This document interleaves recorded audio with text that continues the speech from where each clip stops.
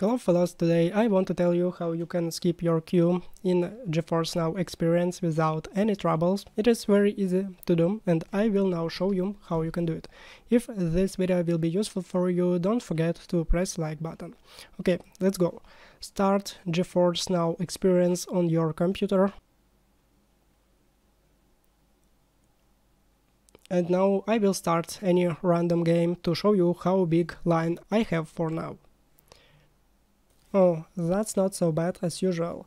I have now queue only 50 people and it's pretty good. But how you can make it much more short? Just go to settings at left top corner of your app and find here your server location settings. Find which one is best for you, which one has good speed and small queue.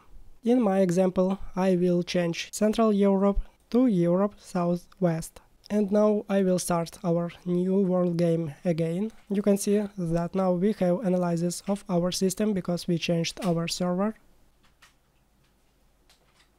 And now our queue is only 10 people.